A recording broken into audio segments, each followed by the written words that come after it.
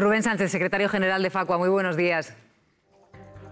¿Qué tal? Buenos días. Bueno, suben todos los precios, claro, no habíamos reparado. En las, bufandas y los guantes. Claro, nos iba a costar un dinerito extra también cambiar el armario. ¿Es una tendencia general dentro del sector, Rubén?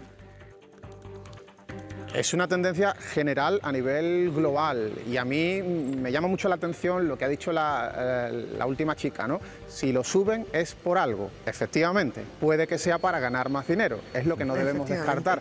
Inditex viene de ganar en el primer semestre del año casi 1.800 millones de euros, un 41% más que en el mismo periodo del año pasado, o sea, no le va mal a la empresa, es lógico que si realmente hubiera incremento de costes pueda repercutirlo a los consumidores, pero habría que estudiarlo, es que todas las empresas de todos los sectores hablan de subidas de precios porque no tienen más remedio. Y en muchísimas ocasiones, lo hemos visto con los alimentos, están incrementando precios porque aumentan márgenes de beneficio, porque están aprovechando esta coyuntura en la que sube la luz y sube la gasolina. El mensaje a los ciudadanos es que eso repercute en todo, que tienen que subir los precios y a lo mejor no tienen que subir todos o no tienen que subir tanto como están subiendo.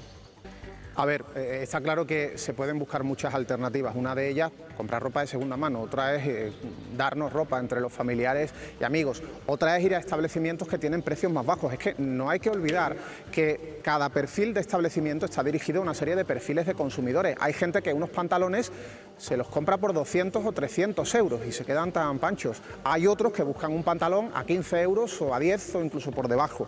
Por tanto, cada cual compra en función de su capacidad. Lo que no nos debemos dejar es, digamos, marear, confundir, persuadir por empresas que con marketing nos convencen de que tenemos que comprar ese pantalón de 100 o 200 euros. No hace falta. Y ahora, si tenemos un nivel adquisitivo especialmente bajo, pues sondeemos mucho el mercado. Y si hay determinadas superficies que dicen o que vemos que están subiendo precios, igual toca decir, ya no voy a ir siempre a esta voy a empezar a mirar otras en el mercado con perfiles similares de consumidores incluso de menor nivel adquisitivo. No pasa nada, no tenemos que ostentar marcas, tenemos que tener ropa que sea buena y que sea cómoda.